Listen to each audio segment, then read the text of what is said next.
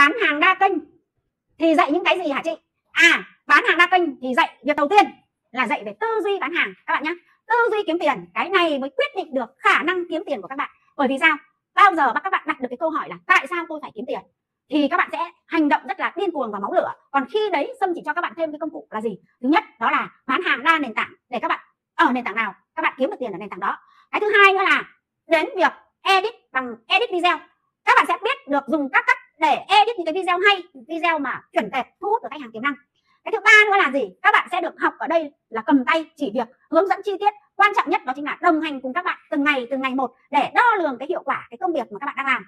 Tiếp theo nữa đó chính là cái gì? Là trong quá trình mà đào tạo đấy sẽ có rất là nhiều người học cùng với các bạn, đi đồng hành cùng với các bạn. Các bạn ơi, buôn có bạn, bán có phường mà. Nếu mà các bạn đi một mình ấy, nó nhanh chán lắm. Nhưng nếu mà có người đồng hành cùng các bạn, học cùng với các bạn, gỡ rối cùng với các bạn và thậm chí là phạm lỗi cùng với các bạn luôn thì khi đấy cực kỳ là vui. Và chỉ có khi vui thì con người ta mới bán được nhiều hàng và kiếm được nhiều tiền thôi. Tiếp theo nữa, các bạn sẽ được học những cái gì? Học những cái công cụ và đặc biệt là livestream livestream giúp cho các bạn. Livestream giúp cho các bạn nhanh tiếp cận được khách hàng hơn bởi vì khách hàng được gặp thật mặt con người bạn.